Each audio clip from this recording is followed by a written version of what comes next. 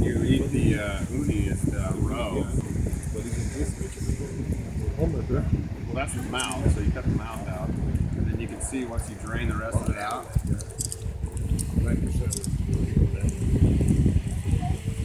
So you look in there and you see the eggs? That's uni. That's what you eat on rice.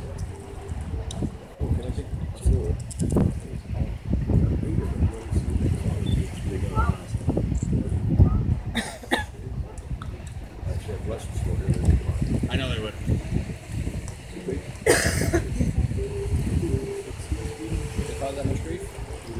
Yeah, it's on a sportsman's level they do because they are yeah apps, but they've been the population has exceeded like the one that lives here and like the three pubs that have had. I didn't realize these are little chinchillas. I don't know if that's what I'm saying 'cause it's like a tourist favorite out here, but in reality, it's uh, for the best for our sport. These sports, sharp. Okay.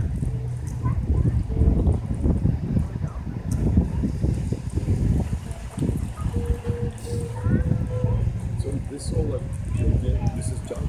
Yeah, this is everything that's going to get ground up and sent to the ocean.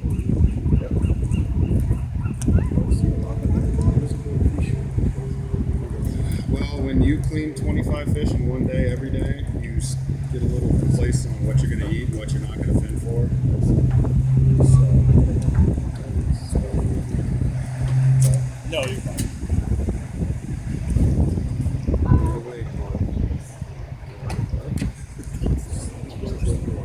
I did. Yo, will you do me a favor? Will you bag those out for me? Will you rinse them in the bag, please? While I scrape all this nasty shit on the inside of this disgusting creature. So somebody can make a light out of it. She's like, oh, we make a lamp. Like, how the fuck who'd ever think you make a lamp out of this? So that's what you eat when you go to sushi.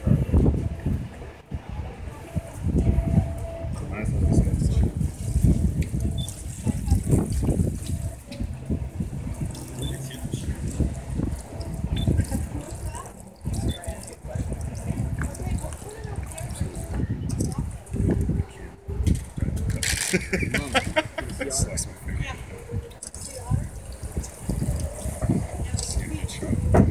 Shots. Urchin shots. Urchin shots. Be better. Um, use a smart seal. It's the smartest one of the bunch.